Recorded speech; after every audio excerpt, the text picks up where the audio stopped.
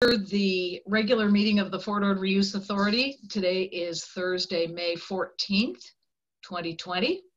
And let's see, uh, we're not going to do a roll call at this point. Um, the first order of business is closed session. Um, Josh or John, do you want to um, tell us how we're going to get into closed session? Maybe Josh, you can do that, and then John, I'll have you um, announce what we'll be discussing in closed. Very well. Yeah, so we sent out some email ho- earlier. Ho- hopefully, folks had a chance to read that. But we're trying something new today, which is the use of a breakout room feature here, which will make it so you don't have to log out of this meeting and log into another one. There will be for for the members who are going into closed session.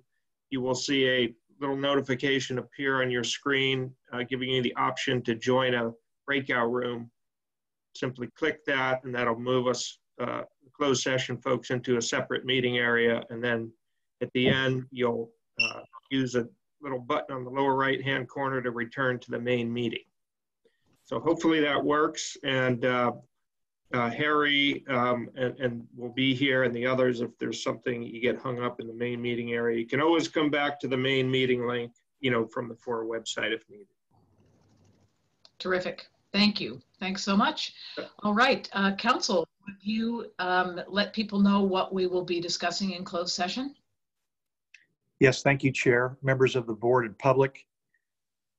We will adjourn into closed session. Uh, Item 2A is conference with legal counsel, Government Code Section 54956.9D2. Anticipated litigation, significant exposure to litigation, and there are three potential cases. Thank you. Um, Before we go into closed session, we want to give a chance to the public to make any comments uh, that uh, you might want to make on uh, any items that will be discussed in closed session. So uh, anyone who's participating via Zoom, you can use the raise hand feature to let us know if you would like to comment. Give a little pause to let people get their equipment all lined up. Doesn't look like there's anyone, so um, thank you. We will recess to close session and reconvene as soon as we're done. So Harry, you got this thing going? Okay. Yep. So I'm going to open up the closed session room. The only two people I hadn't found were Gail and John Gagliotti. So if you two are on the call, uh, let me know and I will invite you to the closed session.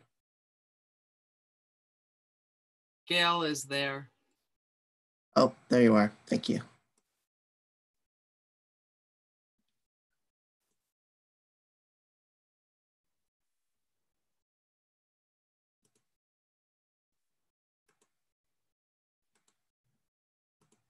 John Gagliotti, are you I think he's in another meeting. Okay? Gary. Are there any board members still in the regular meeting that I'm missing? Gail, I see you're here. Did you get the breakout room invitation? Who knows? Harry, this is uh, David Willoughby. I don't seem to have received the breakout room invitation. Oh, let me get you in, David. Yeah, you're still in the regular meeting, Gail. Oop, You just disappeared.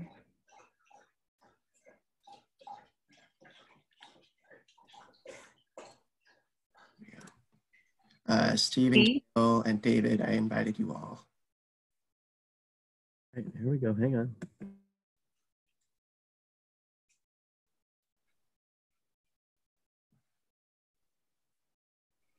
Hmm. Anyone else I'm missing that needs to be invited? I think Director Shriner might need to be invited, maybe, or she, go- does Marina Coast go into closed session? They don't, right? Uh, no, they don't. Okay, sorry. No Sorry, worries. Director Shriner.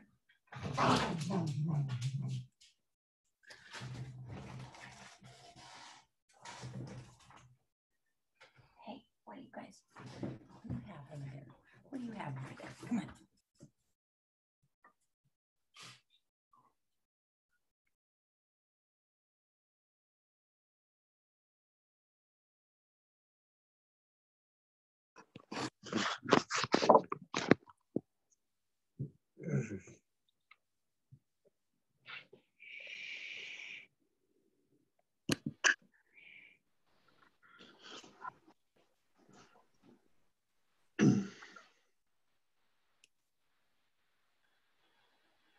Okay, I'm going to um, reconvene the regular meeting of the Fort Ord Reuse Authority. It's still Thursday, May 14th, 2020.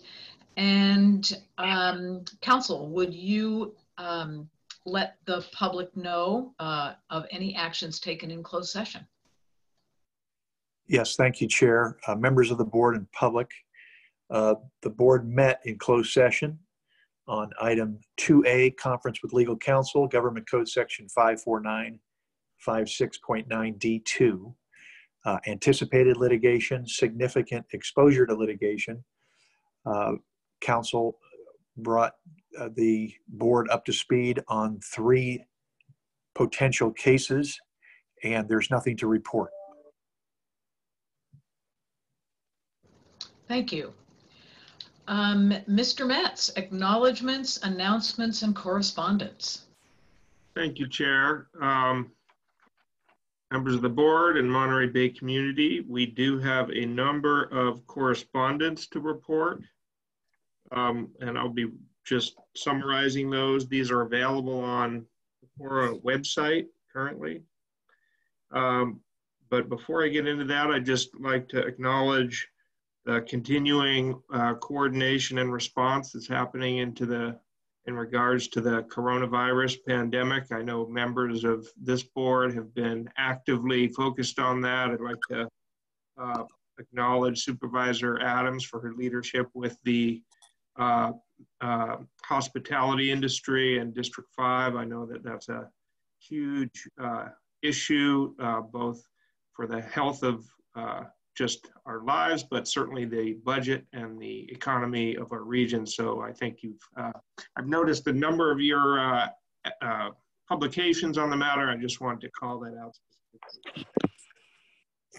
Um, uh, I was also planning to do a, a, bit of a promotion of our staff, our few remaining staff who are uh, soon to be uh, free agents. Um, I know folks are um, uh, sniffing around um, our offices for talent. Uh, I, have got a tremendous team that's capable of remote work and dealing with lots of uh, change. And so um, I'll leave it at that for now, but uh, feel free to, to talk with me about any interest you might have in, in um, finding great people for your organizations.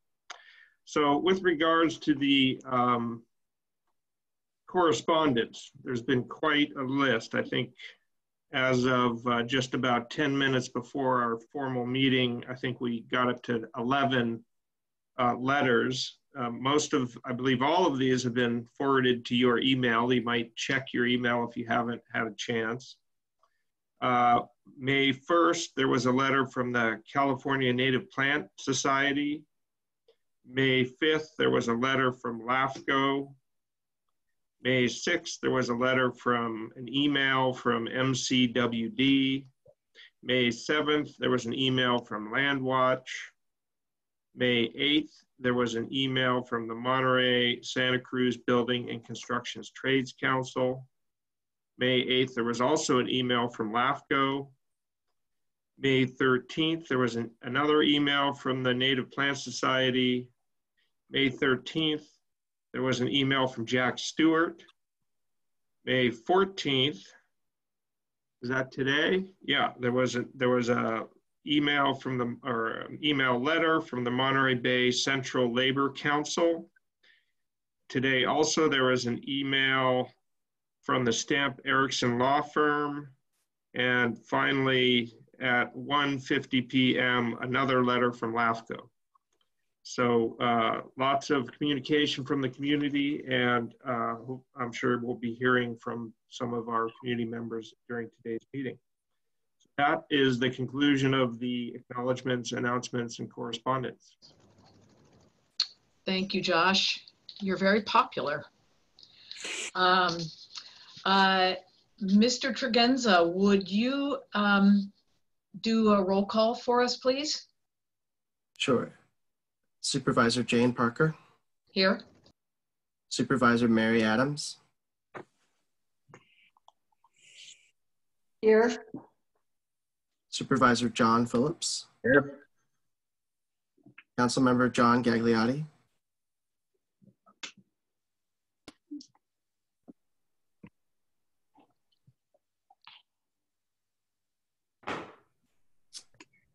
Uh, Mayor Pro Tem Gail Morton, Here. Councilmember Frank O'Connell, Here. Councilmember Alan Haffa, Here. Mayor Ian Oglesby, Here. Councilmember John Wizard, Here. Mayor Mary Ann Carbone, Here. Councilmember Steve McShane, Here. Councilmember Cynthia Garfield, Here. Councilmember Janet Reimers, Here. Catherine Moon, Colleen Courtney, Here. Erica Parker, Debbie Hale, Here. Dr. PK Diffenbaugh, Steve Matarazzo, Here. Dr. Eduardo Ochoa, or Nicole Hollinsworth. Cole's here. Thank you, Nicole. Uh, Colonel Gregory Ford, Colonel Ford stepped out for a moment. He'll be returning shortly. Okay. Bill Collins, Here, uh, David Martin, Here. Lisa Rheinheimer, or Matt Deal, and uh, Jan Shriner. Here. We have a quorum. Thank you. Uh, And I think the record can reflect that um, John Gagliotti is present. Okay. Yeah, I see. Also, PK Diffenbaugh's here. All right. Picking them up as we go. That's great. Um, Thank you. We'll move now to the consent agenda. Um, If, uh, is there any board member who would like to pull any of the items on consent, 6A through F? Please raise your hand and then I will ask the public. Um, Director Haffa? Yes, I'd like to pull 6D. D as in delightful or B as in beautiful? Uh, D is in delightful. Okay, thank you. Different D, but I'll contain Yeah, you're, you're allowed to choose another one. Okay, great, thank you. Um, Any member of the public wishing to pull any items from consent 6D, as in delightfully dogged, um, has been pulled. Um, Any other items of interest to the public? All right, uh, let's go ahead and um, I would accept a motion to approve items A, B, C, E, and F, if someone wanted to make that motion. Madam Chair, I'm sorry, this is Molly Erickson speaking Yes. um, to this. I believe uh, there was a request to pull item 6C that was emailed to you already. Uh, Yes, and I'm glad you mentioned it because that's the Veterans Issues Advisory Committee. Was that the one that you wanted to pull, or was it the transition status report? Uh, Thank you. It must have been the wrong one listed. It was the transition status report. I Yeah, I think- apologize. Okay, no worries. Um, Thank you. That one is pulled, so um, uh, terrific. Thank you for double checking. Thank you. Uh, Super. Is there a board member who'd like to make a motion to uh, approve A, B, C, E, and F? So move. So move. Thank you. Uh, I've got a motion from a number of people, but I think I heard uh, Director Adams first. Um, Second, McShane. All right, thank you. Um, We have a motion and a second. Um, All those in favor, please, uh, oh, sorry, uh, Harry. would Roll you call. Do a roll call vote. Sure. Uh, Mayor Ian Oglesby, Aye. Supervisor Jane Parker, Aye. Supervisor Mary Adams, Aye. Supervisor John Phillips, Aye. Councilmember Frank O'Connell, Yes. Councilmember Alan Haffa, Yes. Councilmember John Wizard, Aye. uh, Councilmember Steve McShane, Yes. Councilmember Janet Reimers, Aye. Councilmember John Gagliotti, Aye. Mayor Pro Tem Gail Morton. Yes. Mayor Mary Ann Carbone, Aye. Member Cynthia Garfield. Aye. Motion passes unanimously. Thank you. Um, We'll move now to uh, 6D.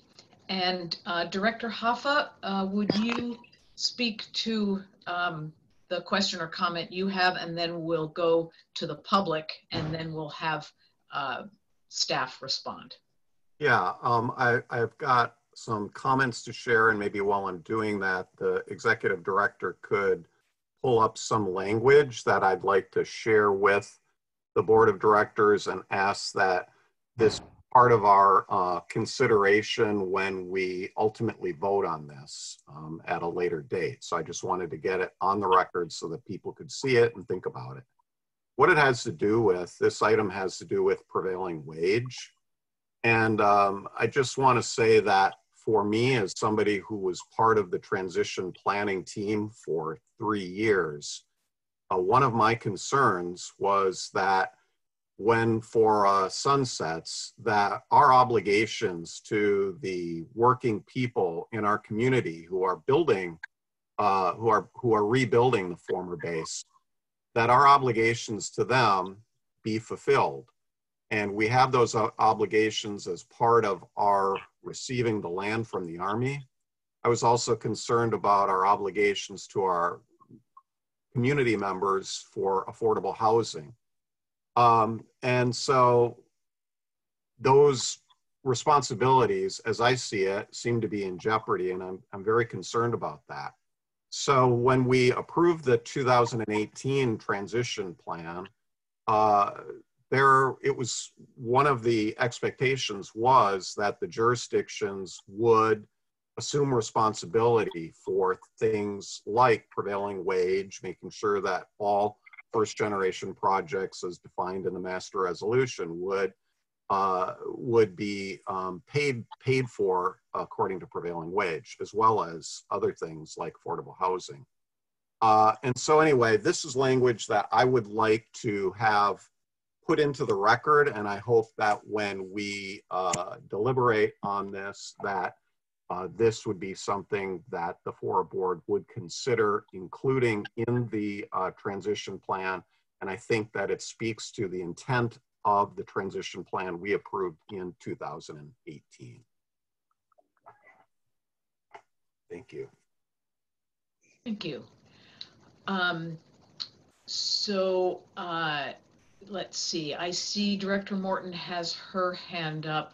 Uh, I'm trying to think. Um, let me uh, let me go to the public first to see what other comments um, or questions there are on this item, and then I will um, have, then I'll uh, recognize board members for comments or questions on any of the issues that have been raised, maybe after I have staff respond. So um, any members of the public wishing to comment on uh, 6D, please uh, raise your hand uh, in the uh, in the Zoom feature, or if you're on the phone, I believe the raise hand uh, mechanism is star nine.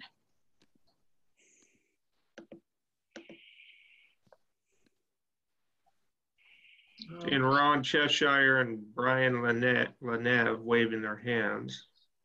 Okay, the old fashioned way? Yes. Okay, great, thank you. Um, all right, so, and I see um, Kate McKenna has her hand up in Zoom. So let's go um, with um, uh, Ron Cheshire and then Brian LeNeve and then Kate McKenna.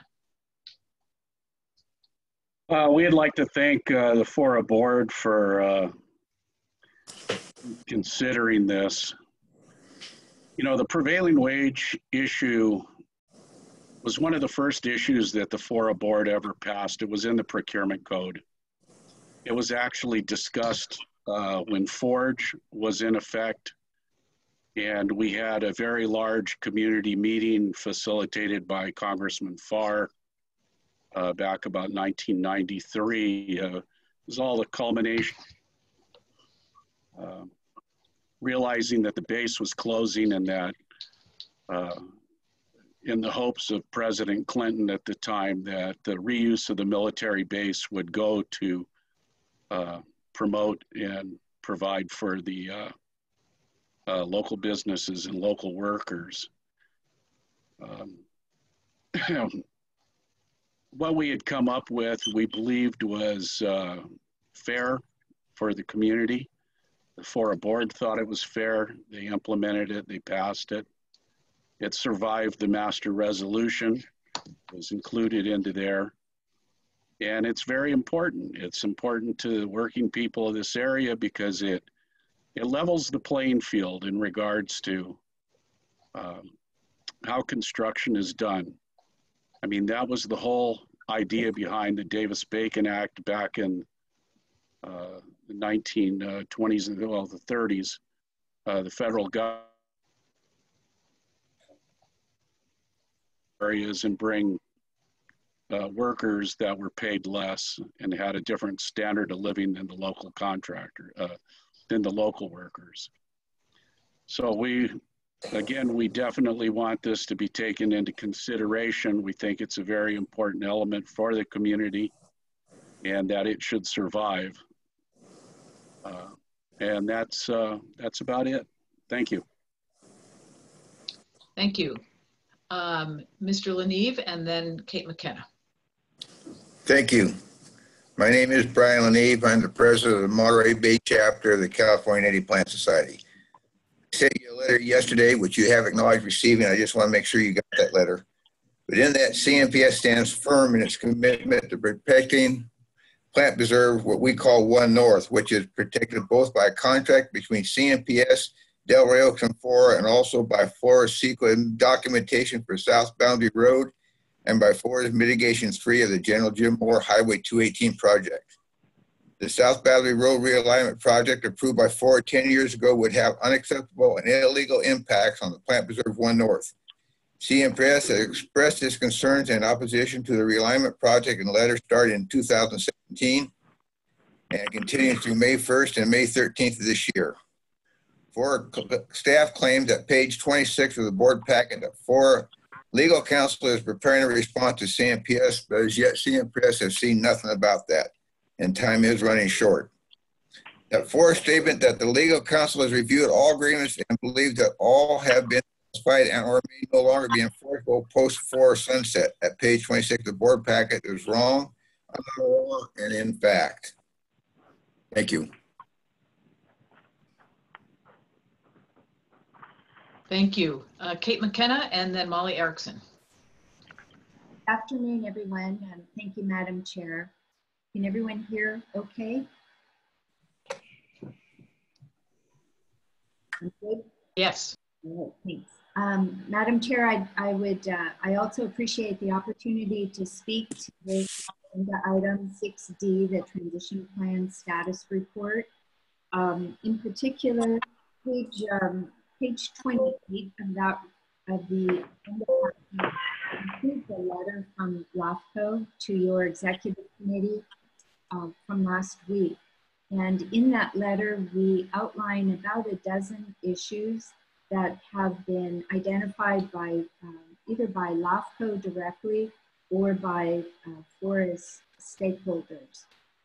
The uh, pages 25 to 27 of the transition status report provides some initial comments from your from FORA's staff um, to those issues of LAFCO and the stakeholders.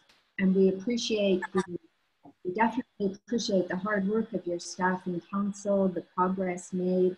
Um, what I would like to outline for you today, and that is provided in a letter that you uh, just received this afternoon, and you may not look at it until after the meeting, is um, we wanted to highlight uh, just some of our comments about some of those initial responses from your staff. Um, one area is uh, the, the range of unresolved issues that have been identified by at least eight different stakeholder groups.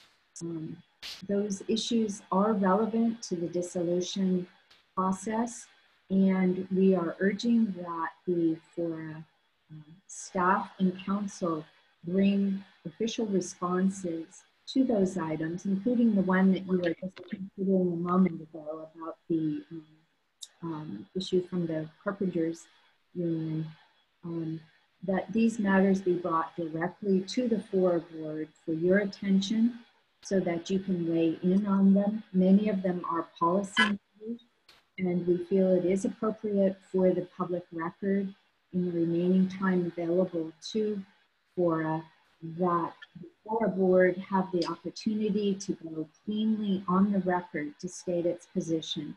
Um, and that would pertain to those unresolved issues of your stakeholders. It would pertain to such matters as the status of your many uh, plans, agreements, and contracts that have been developed and adopted over the past 20, 25 years.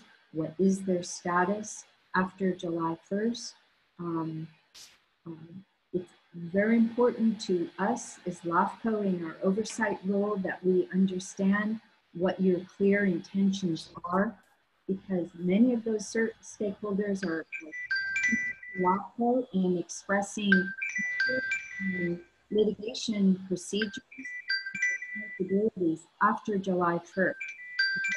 They're concerned that they, their interests will not be fully addressed before June 30th. Thank you.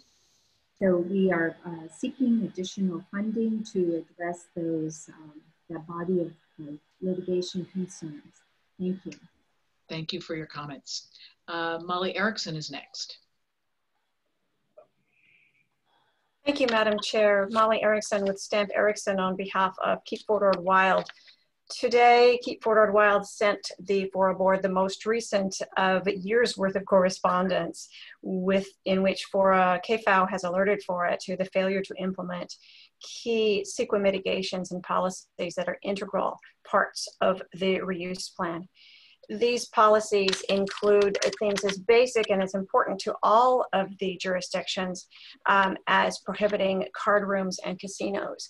That was required of all jurisdictions who took land at Fort Ord, and not a single jurisdiction has adopted that prohibition.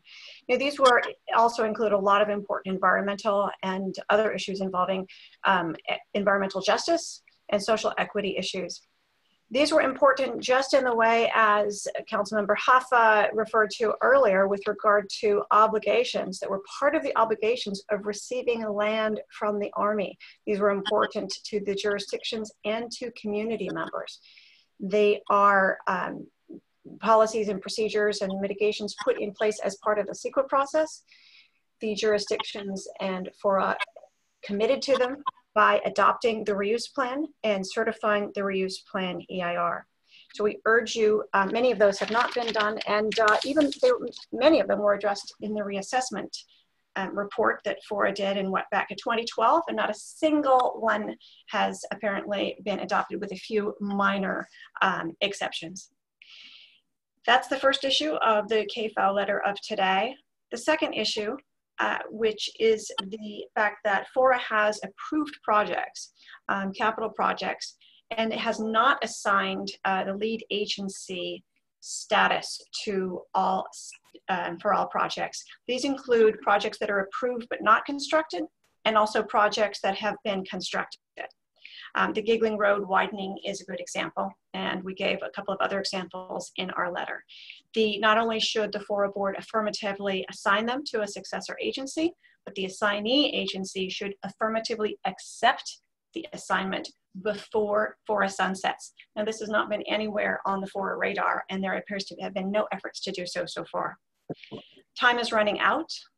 Keep Fort Ord Wild urges you to act immediately to resolve these important and fundamental issues.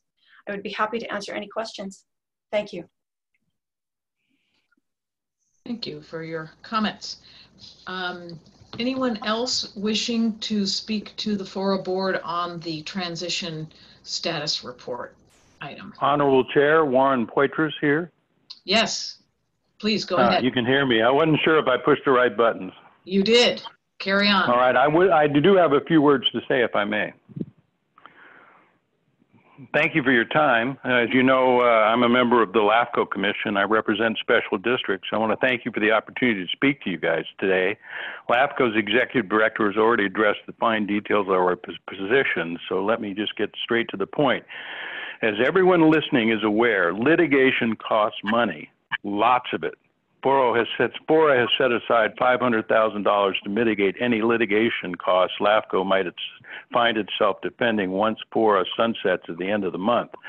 And while LAFCO's commissioners and staff greatly appreciate this gesture, we know that in today's highly litigious society, $500,000 is unlikely to cover the costs LAFCO will incur from a single lawsuit, let alone the high number that can already be expected. From what we know at this moment, there are at least six and perhaps eight separate litigants lined up to file suits against Fora and by extension LAFCO. There seem to be more and more such entities considering similar action as the calendar winds down to the end of June, all of which will end up in the lap of LAFCO once Fora sunsets. A number of you sitting on the Fora board right now also serve as LAFCO commissioners. This means that some of you will be still be holding the proverbial bag on July 1st. LAFCO is going to need a whole lot more than $500,000 to defend itself once Fora goes out of existence, and each of you is aware this is true. I've already mentioned I represent the interests of special districts on the LAFCO Commission. Few, if any, special districts have any direct interest in or stand to benefit from the outcome of any of these lawsuits. But if LAFCO is forced to own, use its own resources to defend itself from FORA related lawsuits, LAFCO will have no choice but to look to its member agencies and, by extension, their taxpayers for additional funding. I implore you to consider the consequences of leaving LAFCO underfunded in the face of a myriad of lawsuits sure to come. Please consider allotting LAFCO additional litigation reserve funding. I thank you for your time this afternoon. Thank you, Mr. Poitras. Anyone else uh, wishing to address the Fora Board on the transition status report item? I'm not seeing any hands. Um, Josh, any old-fashioned hands that I'm not seeing? Okay, um, and not hearing any voices. So I will close the public comment on this item and ask staff to uh, respond to um, any points that um, you feel you can address.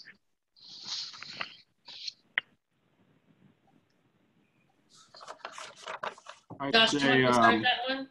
Yeah, uh, I'll let Kendall handle the transition items. I'd say the report handles, describes our, you know, best information to date, and uh, I, I wouldn't have much more to add. Kendall, do you have more to, to say? I do, and um, uh, I appreciate all the comments today, and they're obviously very, um, we're, we're pleased to hear them. I think the, the thing I want to remind the board of is that over the last uh, 15 months, we've been meeting pretty regularly with admin and with board and talking about some of these major issues. So I want to take them one at a time.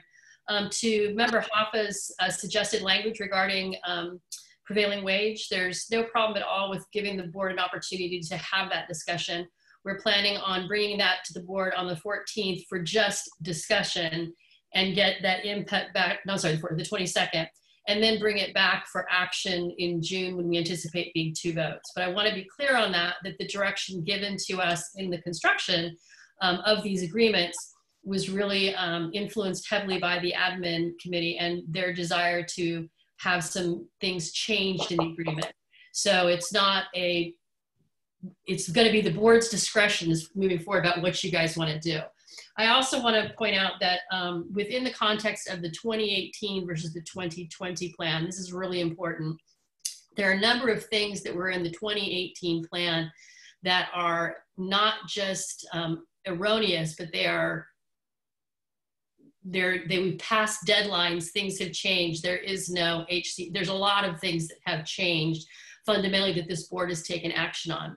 So the plan here is to release the um, draft of that document um, likely tomorrow so that everyone can have an opportunity to look at it, ask questions, whatever else, that we meet again next week, we can have, as I think the chair likes to say, a robust discussion about what is and is not in that.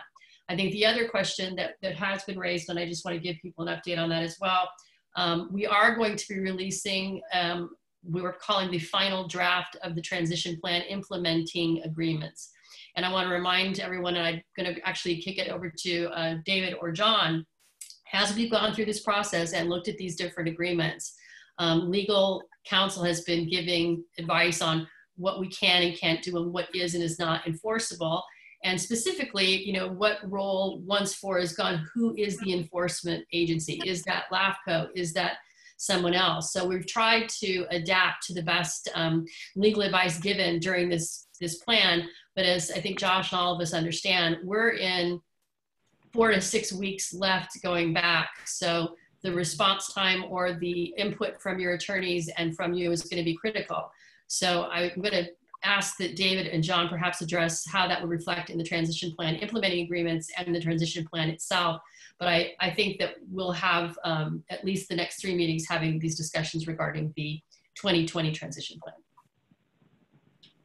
Yeah, if, if I might, I would just jump in here just to make one slight correction. Um, indeed, we do have a special board meeting next Friday, and we are working to prepare a packet of a pretty significant amount of documents related to the bond issue.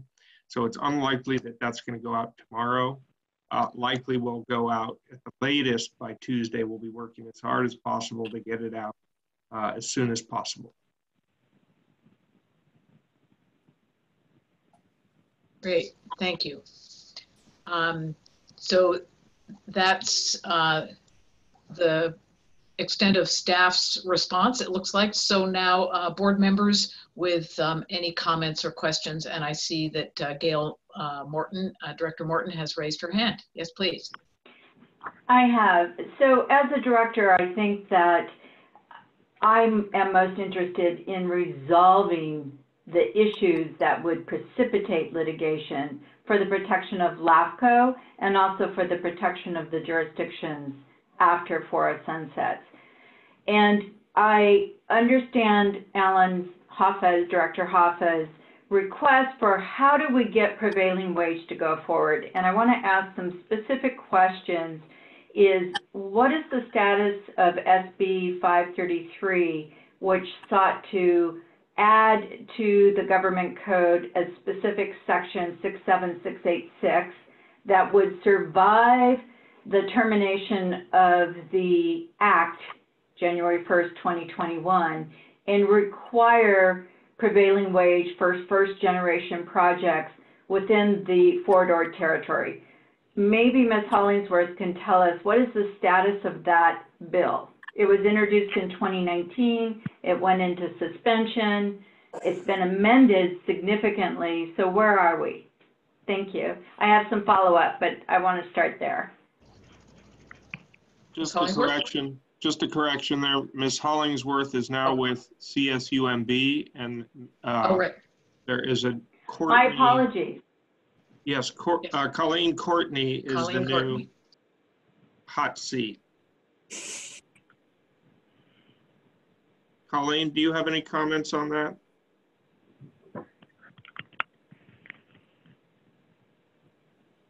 I'm not hearing her at the moment. Uh, maybe this is a question Okay. that can be looked into. And we and- can just move, Yeah. move on, but If I, we're gonna but dis- obviously that's an enforceable remedy. If So we're going my- to discuss my- it next week, maybe we, it can be part of the discussion then. So then the next question that I had was the, the discussion, when we got the letter from Monterey Bay Central Labor Council, we got the letter from LAFCO, all asking about the effect of the implementation agreements. And that is where the prevailing wage provisions appear. Marina is of the position that those implementation agreements are moot. They're, they're unenforceable once FORA sunsets. But one of the things that that did have in the agreement, and I looked at Seasides and I looked at Marinas, was what was an Exhibit F and had deed restrictions in a format that were to be recorded for every transfer of real estate from FORA to the jurisdictions, which indicate that we are going to comply, and it says this is a covenant that's going to run with the land for compliance of the terms in the base reuse plan and other provisions. Was that recorded for every transfer of real estate that came from FORA to the multiple jurisdictions? It would be included in each, each transaction. This is different than the recordation of just the master resolution, which is as notice. This is deed restrictions, covenants running with the land.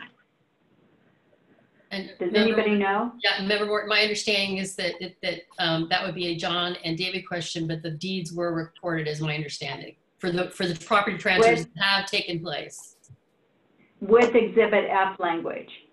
Uh, that I cannot verify without looking at it specifically, but I'd have to double check back with So- So then the next question is, does Exhibit F enforce the prevailing wage as to all parcels of property that have been transferred prior to June 30th, 2020? And therefore, do we have it in place currently? The understanding from counsel was that anything that was in the deed, that was specified in the deed and was recorded would continue with the land post fora, right? That it goes on. I'm watching It was right not now. specific, We'll get off. not specific to prevailing wage. If That was not tied to the deed. And just to be clear, I don't know where John and David went, but the, the Army's position did not include prevailing wage. The prevailing wage um, pieces came from state legislation, but I'd have to defer to David to, to answer. Oh, there's John. There you go. I guess. Yeah. No, I'm I'm not talking about the transfer from the Army to FORA. This was in the implementing agreements indicating that every jurisdiction agreed when land was transferred, the language, the conditions and covenants in Exhibit F were going to be included in the transfers. Did that include prevailing wage? And in fact, was that recorded with each transfer? I'm trying to address what the public is concerned about, and I'm trying to see if we have it already taken care of. Thank you. Great. And I think those are questions, um, it seems like maybe people don't have those answers uh, at their fingertips at the moment, although, oh, Josh is showing fingertips. I'm showing some fingertips. Uh, the, the, the people with most familiarity with all of the deed and transfers are, are Stan Cook. And so um, I've just been kind of communicating with him to see if, if he might be able to jump on. But I can say that, um, you know, this is an item that we can look into and bring back on, on Friday if, if he's unable to get on here in a timely enough fashion. I think the, um, Okay, perfect. Yeah. But I, I'm looking at those as discussions that would help with, if in fact we have taken care of it, with the public concerns and the concerns about lawsuits regarding enforceability. So that, those are questions that we can answer when we get to that. Um, and I just remind everybody, the difficulty that we've had with prevailing wage is it's the Department of Industrial Relations upon whom we all rely for enforcement. FORA has never had the ability to enforce. But if it's in the deeds and a covenant that runs with the land, um, that would be great if we could make that clear to our friends in the Labor Council. Thank you. Thank you for those uh, comments and questions, and I think that's a good setup for our discussion next week uh, to make sure we do have that information available. Maybe it can even be part of the board report or somehow uh, presented to us. Great, those are important points. Uh, Director Reimers, you have your hand up. Yes, thank you. Um, I want to, to just support what uh, uh, Commissioner um, Morton said earlier and one of her first comment, and that is that I too share her concern about getting everything as clean and as, as concisely and well understood of what is expected that the community worries about so that we won't be spending money on litigation, that we really can move the jurisdictions forward uh, to have a clean slate and be able to move forward and argue. If they aren't happy with everything that they're getting in the agreements at this juncture, they can hopefully work with the, the um, items and, and move forward and and not have to go into litigation now. So I believe that was her comment in the very beginning. If it is, I certainly agree with it and hope that we can use that as a goal uh, going forward in looking at the transition plan. Whatever exercises we can do to to ease that transition for the jurisdictions. Thank you. Thank you. Good. Some good points raised. Um, any other board member with a comment uh, at this point? All right, seeing none, I think, uh, yes, Mr. Metz. Yeah, I'll just say that uh, Colleen Courtney has, has uh, been communicating. She is here and could address the status of the, the Monning legislation on prevailing wage. Okay, So um, she, let's see if uh, we can take get. it away, Ms. Courtney. Hi there. Um, we we don't have the legislation. It it it hasn't moved forward. So due, due to COVID 19, we had to reduce to only COVID 19 related bills or uh, bills that were time sensitive. So uh, we, we uh, were not able to move forward with the prevailing wage bill. And Monterey County Labor uh, Labor is aware of this, uh, and I thought we, we communicated that with FORA as well, but I apologize if we did not. that's we have Toby on my phone to help address the question for anyone who's curious. Thank you. Yeah, your voice had had a nice little change there. Um, so, so it sounds like um, the Monning bill is in quarantine um, due to COVID. So, um, thank you. Thanks for that information. So I think um, the uh, item 6D is uh, just reviewing uh, the progress. Uh, we've gotten some good input, and it sounds like we have a discussion uh, coming to us next week on the prevailing wage uh, issues. So uh, with that, I'm prepared to uh, uh, accept a motion to uh, uh, uh, approve item 6D. Or accept it, basically. I just want to note, as it looks like Stan just joined the call also. Um, so to the chair, what are we approving? It's an information item. Right, I think we're just So move to receiving it. accept, move to accept the report. Great. A second. Thank you. Okay, there's a motion and a second uh, to accept the report. Yeah, sorry, my, my uh, bad lingo. Um, I guess the question is, do we want to hear uh, from Stan Cook since he's here, or shall we wait until next week? Any, any thoughts on that? I'd suggest next week. We, I would ex- expect that we would address everything next week with regard to the Exhibit F and the covenants. It's a legal question as well as a recordation question. Thank Okay, you for great. asking, Madam Chair. Yeah, thank you. And thanks, Mr. Cook, for joining us. You are now liberated to um, go do whatever work you were otherwise engaged in. Um, Director Oglesby, do you have a question or comment on the motion? Uh, It's going to be a comment. Uh, I appreciate, well, I support the motion. Uh, Just, I want to make sure we include uh, Director Haffa's uh, suggestion and uh, additional language. Thank you. It's actually um, not up for action today. It was uh, suggested that it be put uh, on the agenda for discussion next week. So, and that's, that's happening. No no action, Chair, just I want to make sure that was included in us us accepting uh, the item. Got it. Okay, Thank you. Good. Uh, Mr. Tregenza, um, roll call vote, please. Or- And just to clarify, the motion was from Morton, second by Member Haffa. Uh, I think the other way around. It was the reverse. Thank you. Uh, Mayor Ian Oglesby, Aye. Supervisor Jane Parker, Aye. Supervisor Mary Adams, Aye.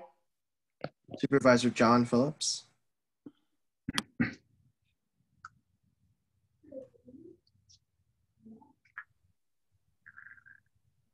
see him here. Aye. Can you hear me? Yes, Aye. thank you. Aye. Uh, Councilmember Frank O'Connell, Yes.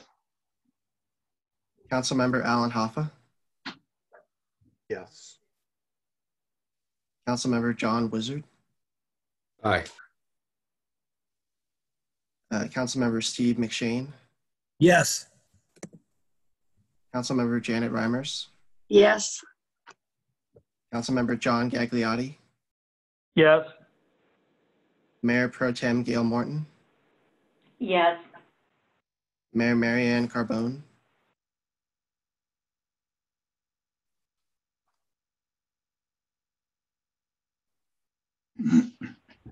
Aye. and uh, Councilmember Cynthia Garfield. Aye. Motion passes unanimously. Thank you. Thanks, everyone. We'll move now to our business items. First one is 7A. And um, it has been suggested that we take um, the various uh, memoranda of agreement kind of one by one. Uh, so what we'll do is uh, we'll have the staff uh, begin the presentation, talk about the main points of the first memorandum of agreement. I'll ask for any comments or questions from the board and then comments or questions from the public. Um, we will not take action at that time. We'll move to the next one, comments and questions, et cetera, et cetera, until we've gone through them all and then we will take an action at the end. Um, that's my proposal. So um, staff, I hand it to you to um, uh, do the presentation. Okay, th thank you, Chair. Um, I'm going to have major help from uh, David Willoughby, who was the main author of most of these agreements in uh, coordination with um, uh, jurisdiction staff. I will say that um, we did uh, have a request from county staff that the um, uh, Oak Woodlands item be uh, held back. They, they wanted more time to review the agreement. So today's action would really be on considering the first three of the memoranda of agreement. Okay, so can everyone see the slides that I'm sharing? Is that yes. visible? Okay. Yeah. So David, um, let me just do a little background and then I'll, I'll pass. Uh, you know, the background here is that um, there was the adoption of the mid-year budget, which approved additional expenditures uh, that were recommended by the Finance Committee and others. Um, April 30th, there was a status report on the projects and um, then uh, the finalization of these agreements was underway. And um, I'll let David take it from here in terms of the purposes of the MOAs and each individual one that is before you. Okay, and, and, I'm appreciative of the fact that it's already late in the day and that we have an impending uh, deadline for this meeting, so I will try and keep it relatively short. Uh, the purpose of each of the MOAs is to essentially define each party's responsibilities, uh, describe the transfer of the funds that FORA has authorized to support these particular endeavors, and acknowledging the transition of lead agency status to the jurisdictions where lead agency status remains applicable to the, uh, the specific endeavor. Um, as part of the background process of fleshing out these uh, memorandum agreements, FORA staff has been working on consolidating project related data and uh, transferring that information to the, uh, the intended recipient of the funds. Uh, if we could now go to the slide on the, uh, the first MOA. This describes the arrangements for the project that involves the removal of the stockade uh, from uh, marina territory this is a fairly fully developed project. It, it got to the point that it was put out to bid. So there are uh, well-developed plans, specifications. Uh, we, you know, it's, it's a project that uh, involves a, a, significant amount of funds and there is a significant amount of background data that has been and is being transferred to Marina regarding this. Uh, the MOA will specifically acknowledge that the city becomes the lead agency for the project. And also because there is some hazardous waste removal, it will be considered the waste generator with respect to any waste removed after entry into this MOA. Uh, my understanding is that the draft agreement was presented to the Marina City Council and received approval late last month and that this document is ready for execution pending approval by the FORA board. Did we uh, want to have any specific discussion on this MOA before we move on to the next one? Thank you. Um, any board members with questions or comments on, um, on this MOA? Where we are? I'm not seeing any hands. Are there? Yes, I'm trying to get my hand up. I'm sorry, I do have a question. Sorry, okay, Sorry. great. Director Morton? Okay. So yes, I do have a quick question. So having listened to uh, the items earlier today on item 6D is in David, and the fact that there's potential litigation, I want to be sure that I understand that by entering into this memorandum of agreement between the city of Marina and Fora, that Marina is accepting lead agency status responsible for this project going forward in all matters, correct? That's my understanding, yes.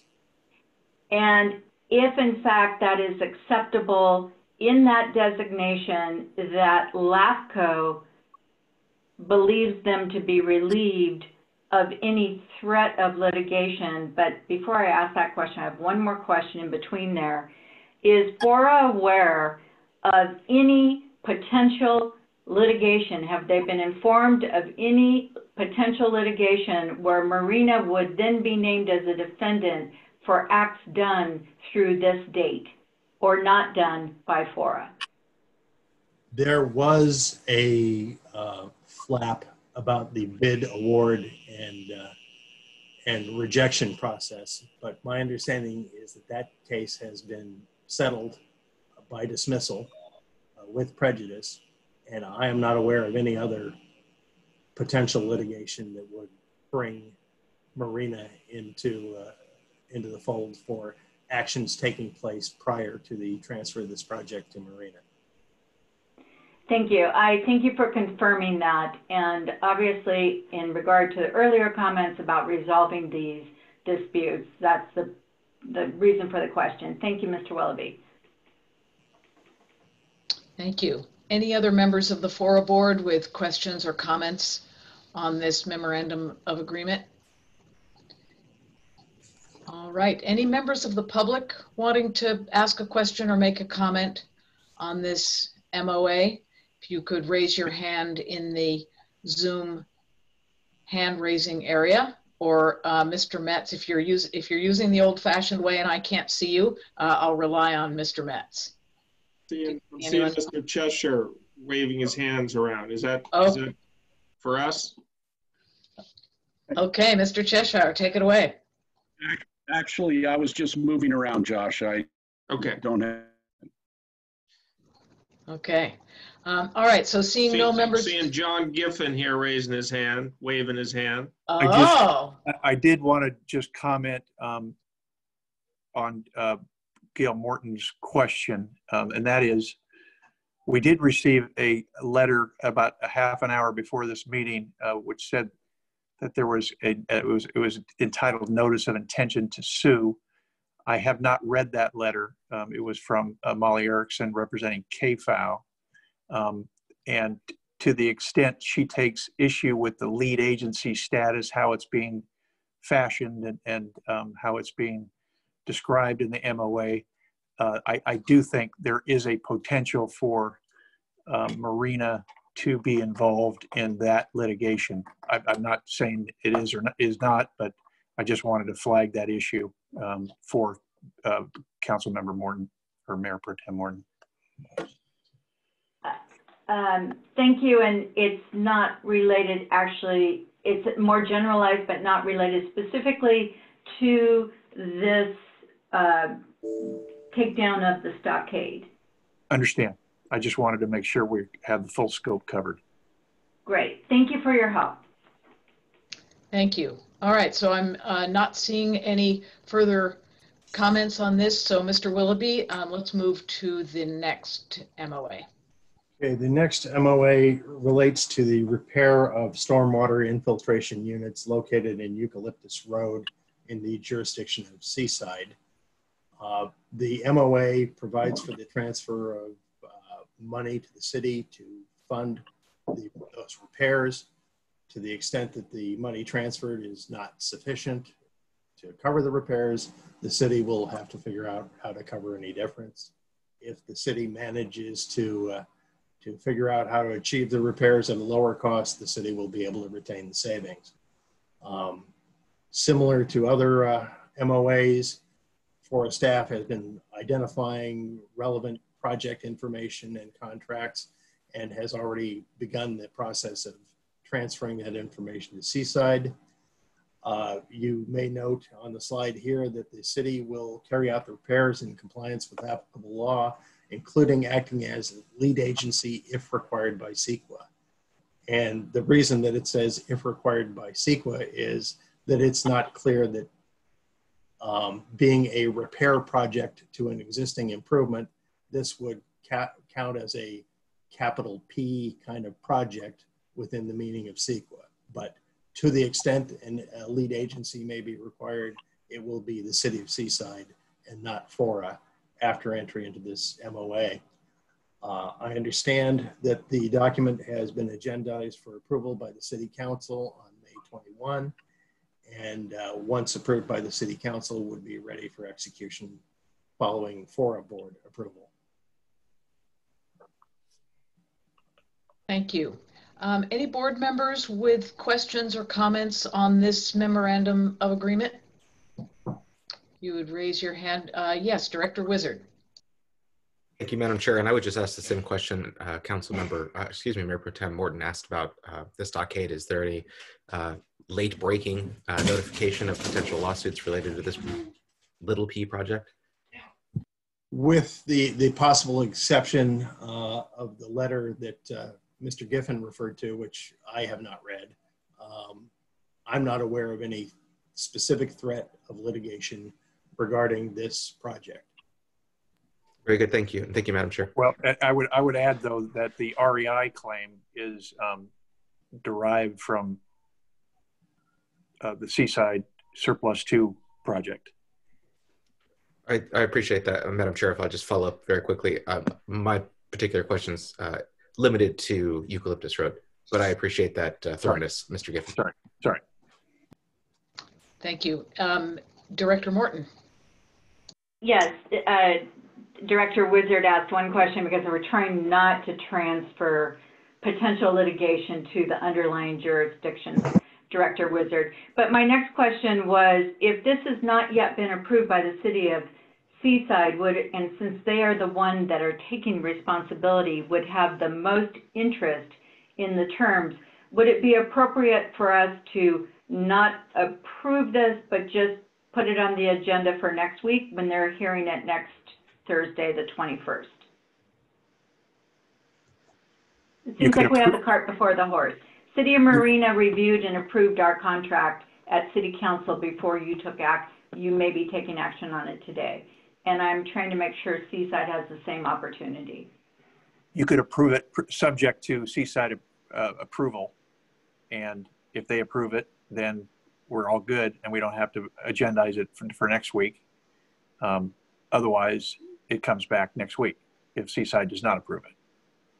I might also mention that the, the document has received staff level approval, although staff does not control the discretion of the city council. Uh, but also the authorizing resolution by the FORA board would leave the executive officer latitude to make minor adjustments and uh, and changes to the extent consistent with the fundamental purpose of the MOA. So if there was some last minute tweak required uh, as as a condition of the Seaside City Council's approval, there would be room to accommodate that even if you acted on the, uh, the MOA today. Thank you. Uh, Director Oglesby. I think the chair, I would just encourage the board to, to move this forward today. I, I believe Seaside has all intentions on passing this uh, when we see it. Um, and so I'll just throw that in there uh, for the benefit of the board. Okay, thank you. Any other board members with comments or questions on the MOA before us? Um, all right, any members of the public uh, wishing to raise a question or make a comment on this memorandum of agreement? If you would uh, raise your hand in the Zoom uh, area or raise your hand the old fashioned way and Mr. Metz will help me see you and recognize you. All right, I'm not seeing anyone. So uh, Mr. Willoughby, we'll move to the next one. Thank you. Okay, this one describes uh, the transfer of funding for certain roadway and intersection improvements near the uh, intersection of General Jim Moore Boulevard and South Boundary Road.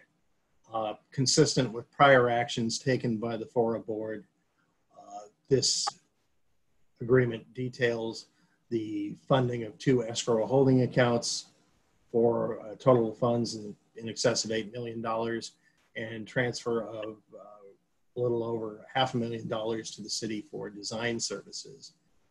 Um, this, uh, this roadway improvement activity although it, it was consideration regarding this began quite a long time ago, the final design has not yet been settled upon.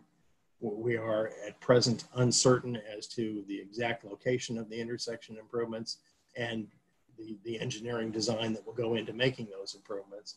That's in part why design services money is being transferred to Del Rey Oaks to allow it to continue that work uh, you may note in the, uh, the fourth bullet point that the city of Del Rey Oaks will be responsible for any further environmental analysis, review or approval of implementation of any environmental mitigation measures or monitoring programs, and coordinating with the city of Monterey or other governmental entities.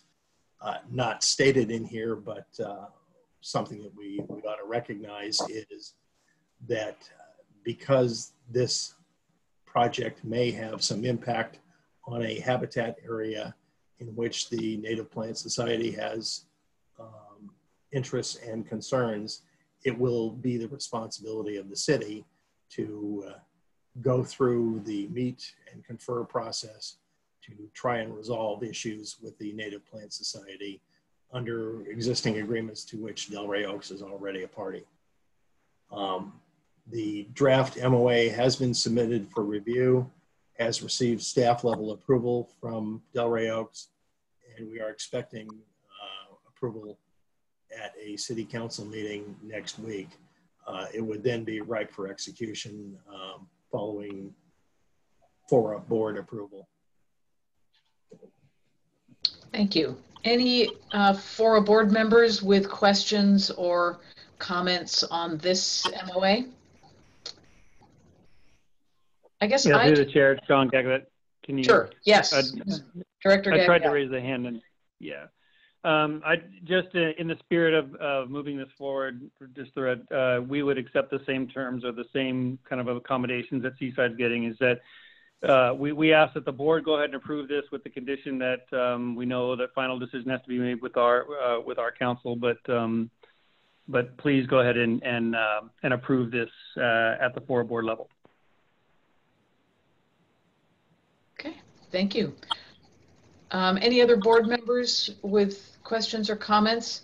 I guess I do have one question in the in the Seaside um, MOA, or at least in the in the summary bullet points. Uh, lead agency um, uh, status uh, for environmental review was was called out specifically with um, that language here it's the looks like all the concepts are being covered, but um, not the same language. Could you speak to why that might be? It's a, an artifact of the uh, summarization process. Um, I'm flipping through the uh, the MOA now and looking for the paragraph that that deals with it, but uh, I'm confident. Yeah, there's a paragraph four deals with the notification of the state clearinghouse providing that the parties will cooperate in providing notification that FORA is not carrying out the improvements and the, the city has assumed the role of lead agency for the improvements. So that concept just didn't make it into the bullet point summary. Got it. Thank you. Um, so if there are no other board comments or questions, I will open it to the public for any comments or questions. I see that, um, oops, uh, Director Morton, were you trying to get in the wire, or do you want to Um, I can wait till after public comment. I just wanted to confirm that at page 26 called out earlier in our um, item 6D was that council, our council has not responded to the native plant um, society that is the potential party to litigation here. That still has not happened, correct? There was a draft response circulated this morning, and because of the need to prepare for and conduct this meeting, my my expectation is that it has not hit the mail yet. But uh, Okay, so it on. hasn't been, got it. So it hasn't been communicated to the Native Plant Society. Draft meaning circulated among your staff and Fora. right, and uh, Thank and you. Perhaps John or Josh may have more recent information than I do, but uh, to my knowledge, that has not yet been transmitted. And that letter will outline the uh, extensive communication FORA has had with CNPS. Great, thank you. My questions are moving towards trying to get it resolved. Thank you. Right. Okay, so now opening it up to the public, I see that uh, Kate McKenna has her hand raised. Yes, please, go ahead. Right, uh, Thank you, Madam Chair.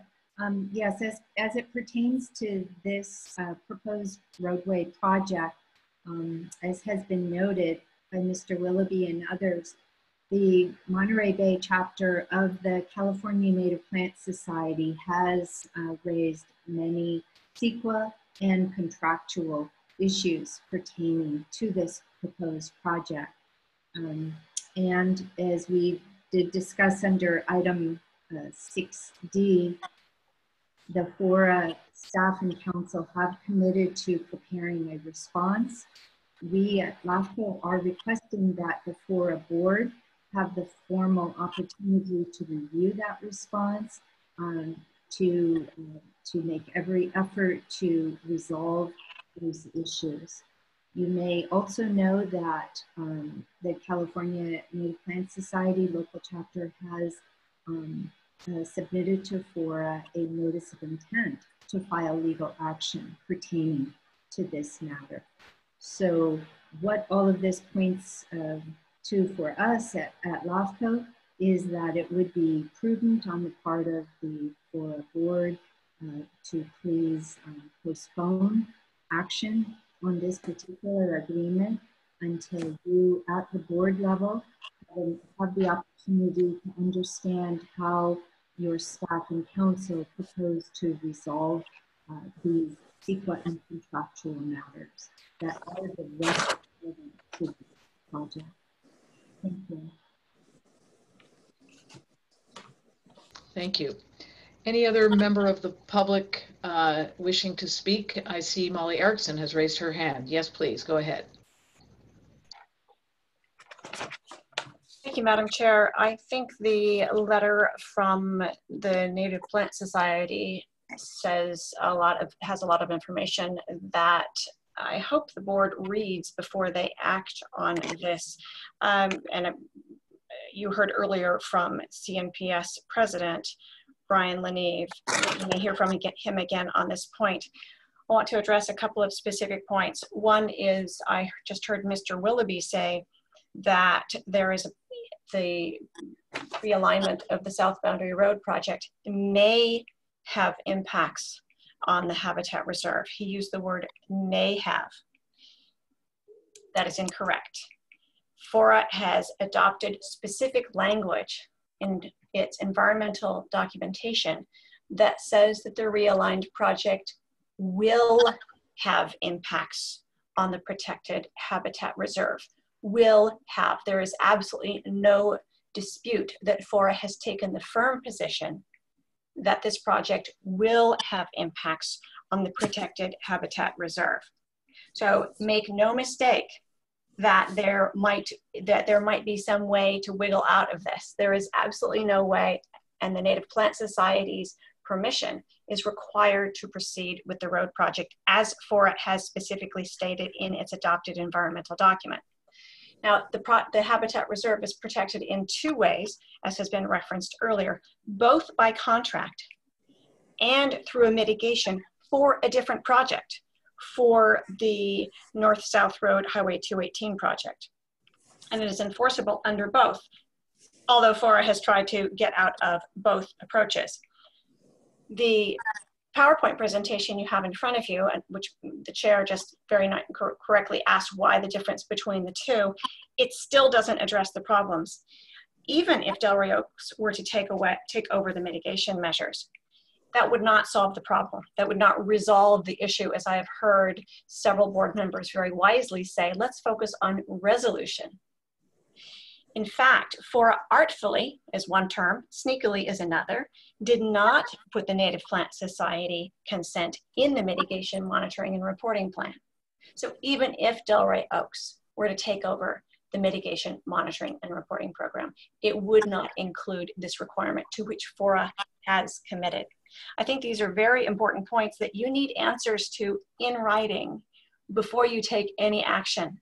And I strongly urge you not to take action on this specific item today. There are far too many questions from far too many people and far too much risk involved. Thank you. Thank you for your comments. I see uh, Dino Pick has his hand up. Please go ahead. Thank you, Madam Chair. Can you hear me? Yes. Thank you for the opportunity to speak, uh, Chair. Um,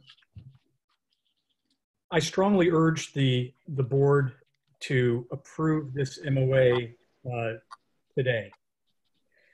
The City of Del Rey Oaks has been working with the FORA's staff uh, to, uh, to meet with the California Native Plant Society uh, for well over 12 months.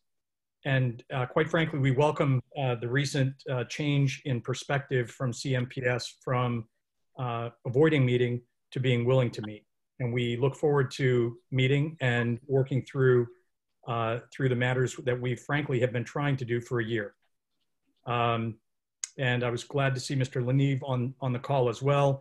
Um, I have tried to meet with his board and have been refused the opportunity. Um, so again, we appreciate the, the change in uh, attitude from CNPS and look forward to uh, engaging with them. Uh, much of what Molly uh, has said today is interesting but irrelevant when it comes to the MOA. Uh, the, the fact that we need to work with them uh, is, uh, is true. It will be true after June 30th, and the project will come to the city of Del Rey Oaks. Providing for that mechanism through this MOA so that our city council can consider it on May 26th uh, is prudent uh, and wise and the thing to do given the, the dw rapidly dwindling amount of time.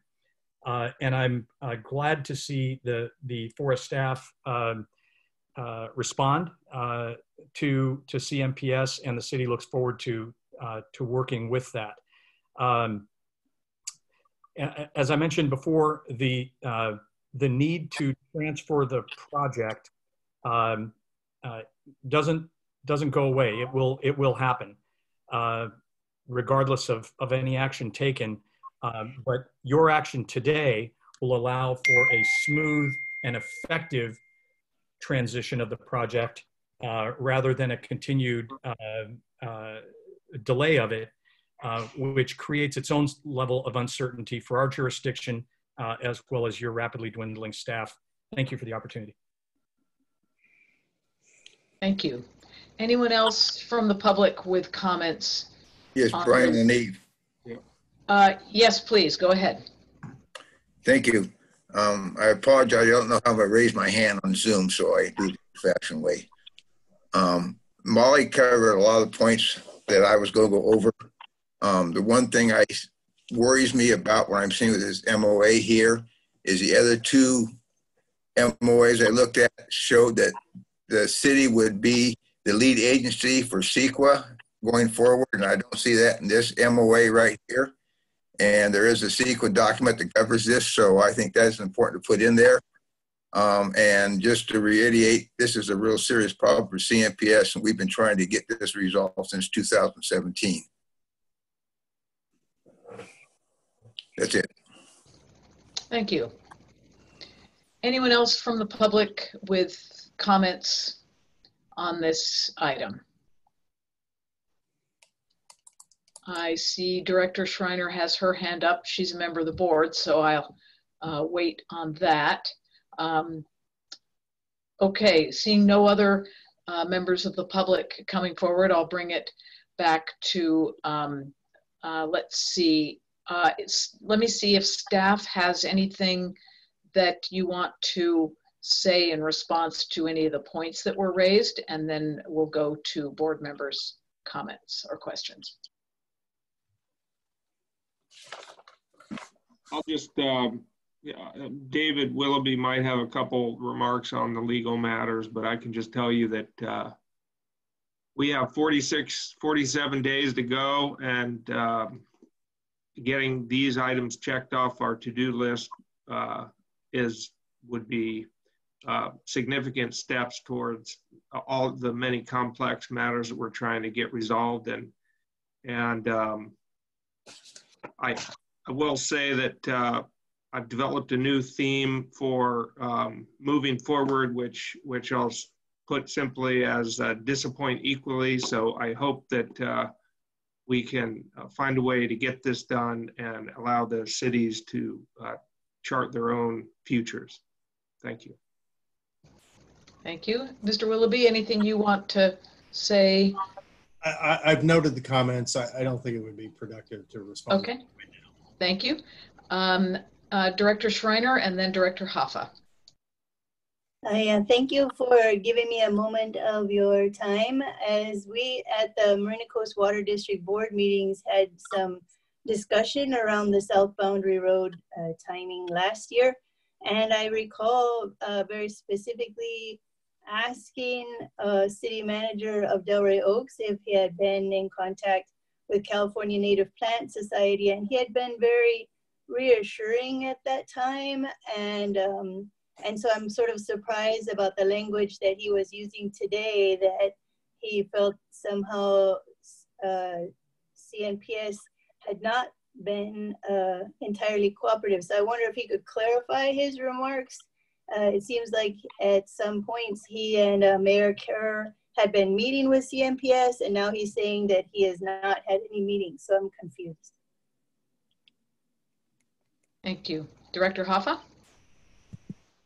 Uh, yes, uh, thank you, uh, Chair. Um, so I would like to move approval of the MOAs as presented by staff.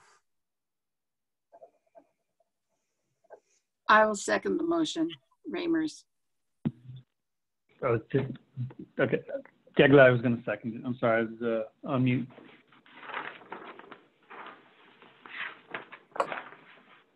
If I might ask for clarification, is the motion to approve all three of the MOAs as presented by staff? It is.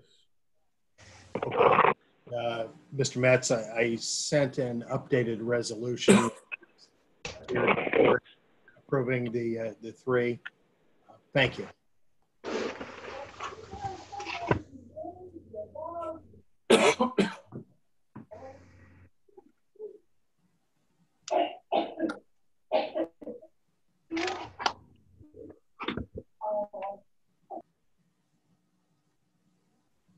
So what's on the screen is a, a um, proposed resolution that differs from the one that was in the board packet by omitting the references to the Oak Woodlands uh, project, which uh, the county asked for some more time to review before uh, it was brought before the board. So this is essentially the same resolution that's in the packet with references to the Oak Woodlands uh, uh, project removed. And, and just to clarify, this doesn't affect any of the MOAs uh, materially. Is that correct? No, th this is the uh, the evidence of the board's approval of the MOAs uh, in the forms on file with the secretary, but it also allows the executive officer the discretion to make non-substantive changes if last minute issues. Yes, then it, it would be my intention as the maker of the motion to include the uh, resolution language. Thank you. The maker of the motion is um, clarifying that the motion applies to the updated um, resolution. Is that okay with the seconder? Robert. Uh, if, yeah, whoever said, Thank you. Um, I see Director Morton has her hand up. Yes, please, go ahead. Uh, yes, I'd like to make a substitute motion that we approve the resolution excluding item C, which is what is up on the screen currently, and excluding paragraph F, which is the Del Rey Oaks. And if I get a second, I will give, uh, address why I'm making a substitute motion. O'Connell will second. Thank you. So we, we have spent the afternoon talking about how to protect our jurisdictions from litigation when FORA goes away and having FORA take responsibility for its contractual obligations and the things that we have put into place as an organization and to do that. The Native Plant Society is indicating that they are going to file suit. The letter came in. I don't have a copy of it, but council has explained that to us. We had the city manager just speak to us stating, uh, Mr. Pick stating he in, invites the Native Plant Society to meet with him, talk with him. Fora needs to be involved in that. It's a three-way contract. And I'm not interested in just sliding it under the table and not addressing it. And most importantly, LAFCO, we heard from the director of LAFCO, Ms. McKenna is also indicating that why would you make a decision until you have the benefit of legal analysis? And perhaps because of my training, it's very difficult for me to support something without truly understanding the ramifications.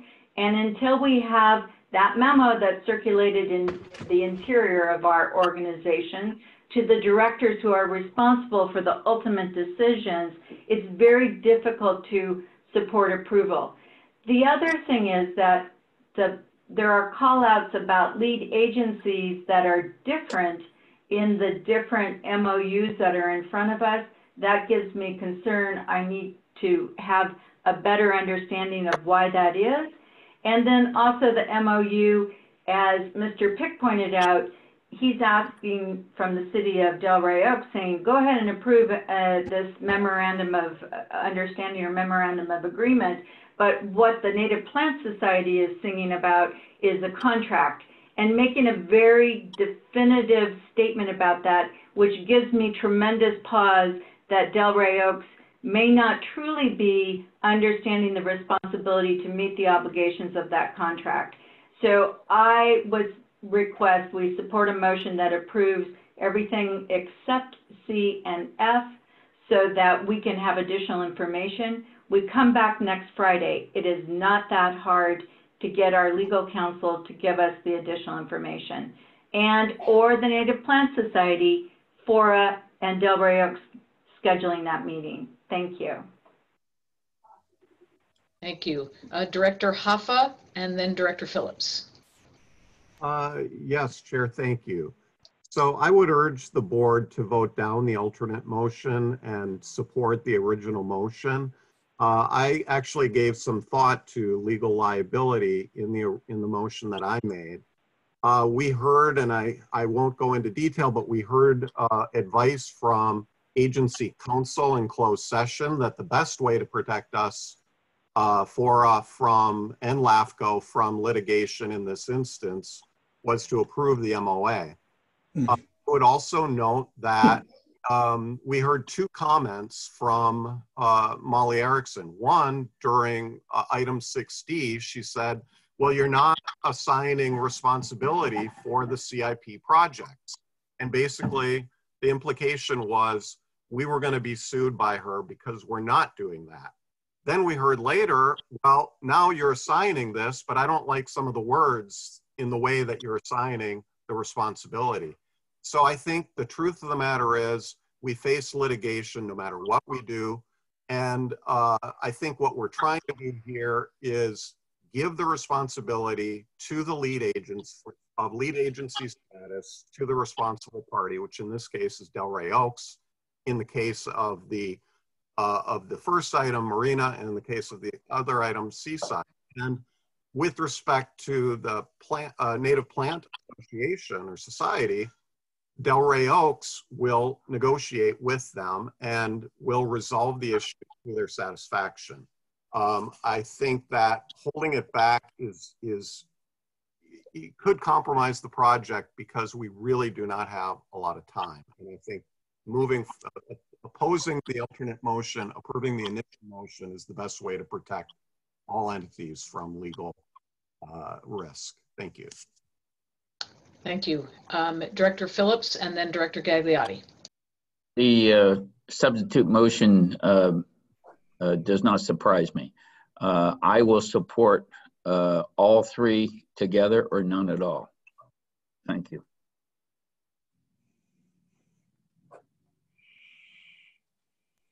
Director Gaglioti and then Director Adams. Yeah, I, I mean, I think uh, Director Haffa just really made a lot of the points that I was going to raise very, very succinct. But um, just to kind of add to that, um, I mean, I think that Del Rey Oaks is well with our, well within our power to, you know, do this uh, on our own. And I, while I appreciate the um, the counsel from Director uh, Morton, uh, I would ask the board to vote down the alternate um, emo- the, the alternate motion and allow us to move forward on our own. Thank you. Thank you. Um, oh, Director Adams, did you wish to speak? Your hand went away. Okay. Oglesby. Director Oglesby, you're next. I, I thank the chair. I'm not in support of this substitute. I I think um, Director Haffa put his, his thumb on it. With only roughly about 40 something odd days to go, how many times are going to put something off? And then my understanding from uh, legal counsel, uh, the outside legal counsel was that we should start assigning some of these things. So we need to start assigning these items out. I mean, as a group, when, are, you, when are we going to do it? The last two weeks? So it's not going to be perfect. I understand a lot of people don't agree with it, but the FORA board has to get these things off its plate. And so we can't make each uh, um, agency and or jurisdiction happy, um, but FORA board has to get them off their plate. So uh, uh, I'm not in support of this. I look forward to uh, voting for the original motion. Thank you. Any other board members with comments? I'm not seeing any hands. I guess um, I will just say that, um, you know, I, I, am unsure uh, of exactly what to do. I know that I spoke with county staff um, uh, well, actually via email um, yesterday and today about the county's concerns with the readiness. Um, there just wasn't enough time, and there were a couple of sub, uh, substantive issues.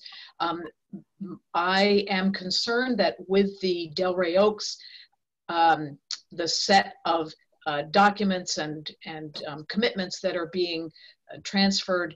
Um, I heard something from uh, the Native Plant Society's counsel that indicates that there may be an important piece that may be missing.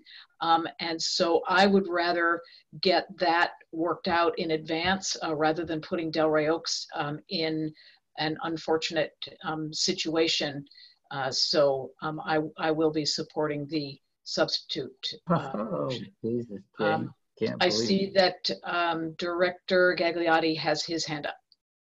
Go ahead. Yeah, again, I, I, I appreciate everyone's concern for Del Rey Oaks, but b- believe me, we can take care of ourselves. So, I mean, if you're voting, if you're voting to, in support of this motion because you're worried about us, please don't. Thank you. Uh, Director Morton. So it's not just about Del Rey Oaks. It's about litigation where everybody is going to be named and LAFCO is going to be named. So that is why I want FORA to take care of its responsibilities before FORA sunsets. And I think everybody that's a party to this agreement has indicated a willingness to get there. The other thing that is so huge and looming is on a May 5th letter, a May 6th letter, the April something letter, every letter that we get from LAFCO, LAFCO is saying we are requesting $1.5 million to be prepared to respond to these threatened litigation. And uh, there is enough there that I think we need to address. We don't have $1.5 million. We need to take care of these things. Let's get our work done. Thank you. Thank you. Any other board member comments? Cynthia Um, Garfield had a question. Uh, she was just saying, I think she wants to vote, so. Yeah, um, me too. I Yep. muttered on that. I should have raised my hand. I'd like to call the question. Well, yes, it's getting to be that time of day, isn't it? Um, okay, so we do have a motion on the floor, and this is the motion to um, adopt the resolution minus paragraphs C and F. Uh, Mr. Tregenza, would you do a roll call vote, please? Miss, Mrs. Chairman, Cha- which, uh, which is this, the substitute motion or is this the original motion, please? This is the substitute motion. Thank you. Mhm. Mayor Ian Oglesby, Nay. Supervisor Jane Parker, Aye. Supervisor Mary Adams, You're on mute, Mary. Nay. Supervisor John Phillips, No. Councilmember Frank O'Connell, Yes. Councilmember Alan Haffa. No. Councilmember John Wizard, No. Councilmember Steve McShane, No. Councilmember Janet Reimers, No. Councilmember John Gaglioti, No. Mayor Pro Tem Gail Morton, Yes. Mayor Mary Ann Carbone, No. Councilmember Cynthia Garfield. No. Motion fails. Thank you. Um, That motion fails, so now I believe we move to the original motion. And um, Mr. Tregenza, would you uh, provide us with a roll call vote, please? Mayor Ian Oglesby, Aye. Supervisor Jane Parker, No? Supervisor Mary Adams, Aye. Supervisor John Phillips, Aye. Councilmember Frank O'Connell, Yes. Councilmember Alan Haffa, Yes. Councilmember John Wizard, Aye. Councilmember Steve McShane, Yes. Councilmember Janet Reimers, Yes. Councilmember John Gaglioti, Yes. Mayor Pro Tem Gail Morton, No. Mayor Mary Ann Carbone,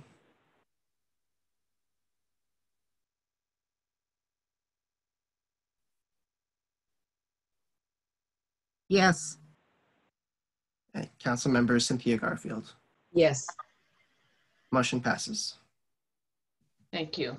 Um, So it can come back next week um, for a second vote, um, since we'll be meeting next week. And we'll move now to um, business item 7B, the joint community facilities agreements. Madam Chair, this is Director Wizard. May I interrupt just for a moment? You may. Thank you. Um, I don't know what Director Oglesby will do, but uh, we have a 5:30 meeting and I need to do some preparation. So since nobody can see me get up and leave, I just wanted to say that I'll be leaving the meeting. Okay, thank you. Thank you. Have a good meeting. Um, All right, we'll move to 7B. Um, Staff have a presentation There's no pre- There's no presentation. Uh, Again, David Willoughby, uh, who was the main author of this document, will kind of step you through an overview. I think most of it's uh, well presented in the staff report. And just because I haven't done it already, I I just do want to acknowledge um, David for his uh, yeoman's work in the last two weeks. I mean, he has really produced uh, some very clear, uh, well laid out agreements and negotiated them with, with multiple parties. And I just uh, want to acknowledge that. Thank you, David. You're certainly welcome. Uh, noting the lateness of the hour, I will try and make this presentation even shorter than the last one. Um, the proposed joint co community facility agreements are a mechanism to move the funds collected through the CFD that were earmarked for habitat management at Fort Ord. Uh, back at the time of the conception of the 2018 transition plan, we were anticipating the possibility that a joint powers authority would be formed and that those funds would be moved in one single lump by a transfer to that JPA. Uh, that the prospect of a JPA no longer appears to be viable, at least in the short term. So this is a substitute mechanism that will allow funds allocated in the proportions that the board already decided upon and approved to be moved from FORA's accounts into accounts for habitat management that will be maintained by the recipient jurisdictions. Uh, what's in the uh, board packet is a template for that agreement. Uh, the intent would be that individual JCFA, Joint Community Facilities Agreements, would be entered into with each recipient. The authorizing resolution allows the executive officer the discretion to make minor changes where necessary to adapt to uh, specific needs or requests by the recipients. I would note that since the board packet was put together, I've received communications from uh, county counsel and the Seaside City Attorney making requests for some minor revisions. Uh, I've reviewed them. I think they're acceptable and they are, in my opinion, all within the scope of minor changes that the executive officer could approve without having to come back to the board to get specific approval to, to make these minor wording changes. So uh, the, the staff recommendation is that the template be approved. It can then be adapted for use by filling in the name of each particular recipient jurisdiction and sent over for execution by the, uh, the jurisdictions, returned to, to FORA, at which point, if the board approves the template, the executive officer will have the authority to sign the final document. Thank you. Thanks for the presentation. Um, any board members with questions or comments on this item? I see uh, Director Morton has her hand up. Please go ahead. So, Mr. Willoughby, thank you for that. I didn't hear in there your presentation what the minor change were, but I wanted to confirm that the changes would include that the uh,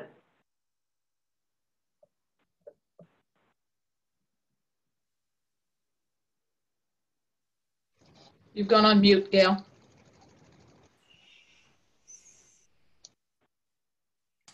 Uh, I'm sorry, uh, I only heard the first half of your question and, and uh, I don't see an indication that your microphone's muted, but I couldn't hear your question.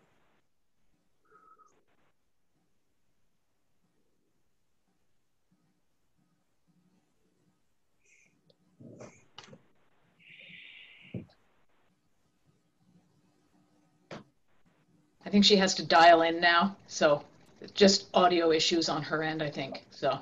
Okay, well, perhaps we can move on to other board comments or questions and then come back to Director Morton when she's back online. That'd be great. Um, any other board members with questions or comments while we wait for, um, oh, I think Director Morton may be back. Do you want to unmute yourself, Gail? And, oh, can we? Thank you for the indulgence. There we go. There you are.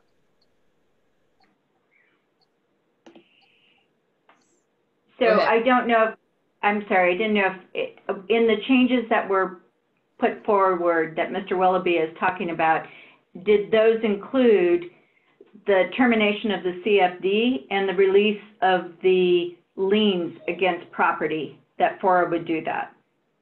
No, those are not in the MOAs. However, I am putting together a document to accomplish that, which would be brought to you at a subsequent meeting, but that they are not discussed in the MOAs.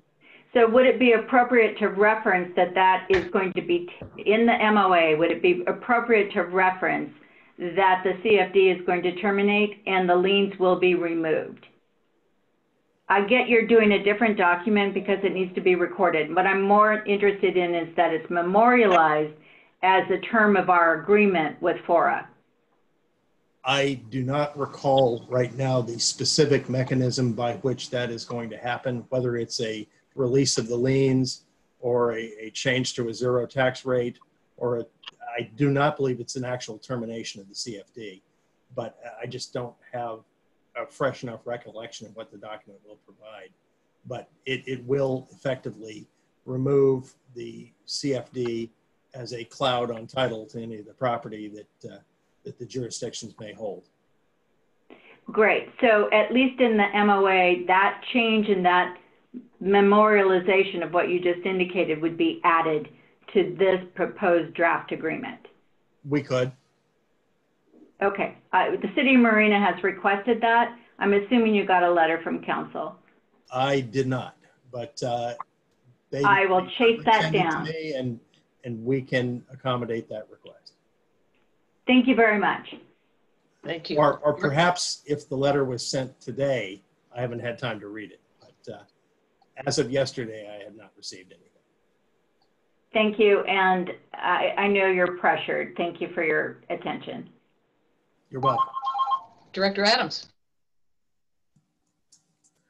Thank you. I see that Ms. Strimling is on the line, and I just wanted to know whether or not the um, changes that you had been looking for were included in the in the document. Yes. Uh, Thank you. Um, d- Yes. Madam Chair, want me Go to ahead. wait for public comment or, uh, or speak now? Uh, go ahead and speak now. Thank you.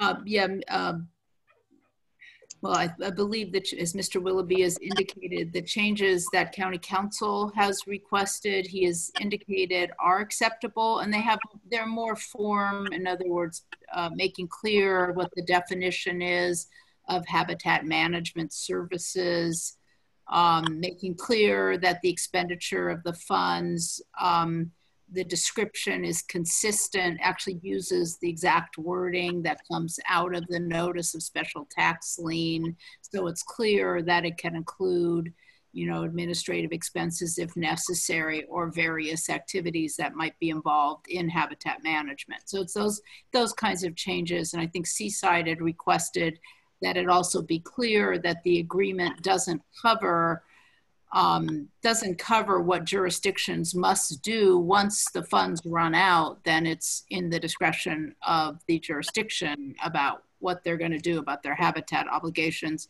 That's really just a statement of fact. Um, those, those are really the nature of the changes. So I think they were all what was intended to begin with.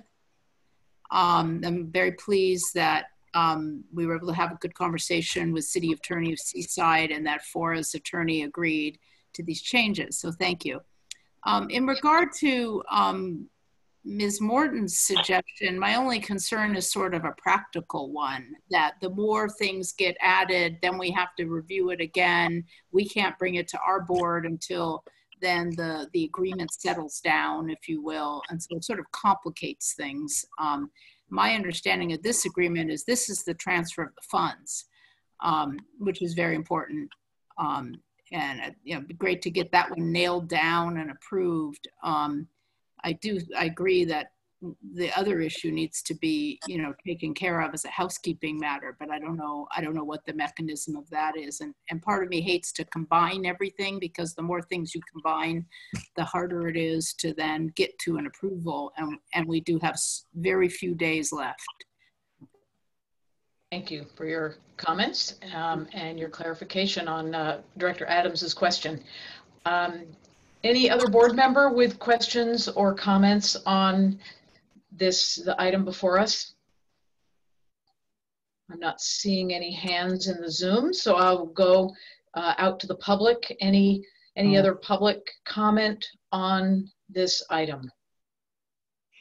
I'm not seeing any blue hands in the Zoom room. Um, any other signs of interest that anyone sees? Okay, thank you. I'll bring it back to this board then. I would um, entertain a motion to uh, approve the, or to adopt the resolution? Move approval. Second. Second. Thank you. Motion by Haffa, second by Gaglioti. Um, Any further discussion by board members? All right, Mr. Tregenza, another roll call vote, please. Uh, Monica? I got a problem. Mayor Ian Oglesby, Mute yourself. I'm all right, I think. Director Phillips, we can hear you and we're, we're trying to do a roll call vote. If you could mute yourself. Uh, Mayor Ian Oglesby, Aye. Supervisor Jane Parker, Aye. Supervisor Mary Adams, Aye. Supervisor John Phillips, Aye. Councilmember Frank O'Connell, Yes. Councilmember Alan Haffa, Yes. Councilmember Steve McShane, Yes. Councilmember Janet Reimers, Yes. Councilmember John Gaglioti, Yes. Mayor Pro Tem Gail Morton, Yes. Mayor Mary Ann Carbone, Yes. Councilmember Cynthia Garfield. Yes. Motion passes. Thank you. Thanks, everyone. Um, We are past the hour of 5 o'clock, so to move to our last agenda item, which is pu- general public comment, I would need a motion to continue just to complete that item. Is there anyone willing to I move we continue for public comment and then conclude. Oglesby, second. Thank you. Um, So a motion by Morton and um, Director Oglesby, did you second that? Yes. Terrific. Thank you very much. Um, Roll call vote, please. Mayor Ian Oglesby, Aye. Supervisor Jane Parker, Aye. Supervisor Mary Adams, Aye. Supervisor John Phillips,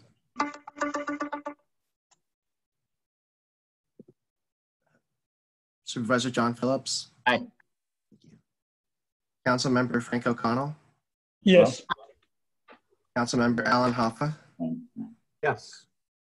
Councilmember Steve Shane, Yes. Councilmember Janet Reimers, Yes. Councilmember John Gaglioti, Yes. Mayor Pro Tem Gail Morton, Yes. Mayor Mary Ann Carbone, Yes. Councilmember Cynthia Garfield. Yes. Motion passes. Thanks, everyone. Um, We will move now to general public comment.